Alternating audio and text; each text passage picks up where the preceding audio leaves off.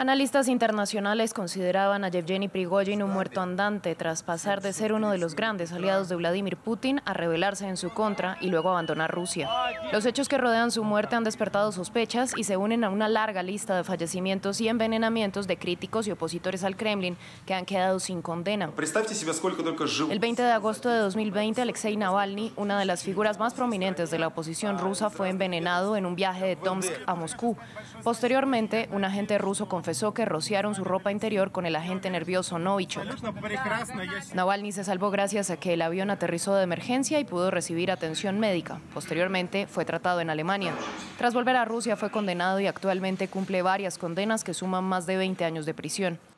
Otro caso emblemático fue el envenenamiento con el mismo agente del doble espía ruso que sirvió al servicio secreto británico Sergei Skripal, que junto con su hija Julia fue hallado desmayado en un parque de Salisbury en Reino Unido. Ambos sobrevivieron y se confirmó que el Novichok fue esparcido en la manija de la puerta de su casa. Las autoridades culparon al gobierno ruso del ataque y Moscú tildó los señalamientos de tonterías y a Skripal de traidor a la patria.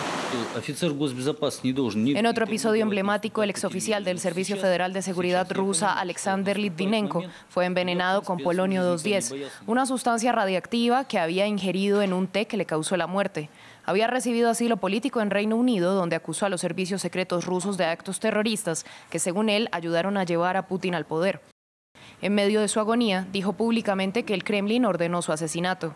En ninguno de los casos el gobierno ruso ha aceptado algún tipo de responsabilidad y siempre ha desestimado cualquier acusación en su contra.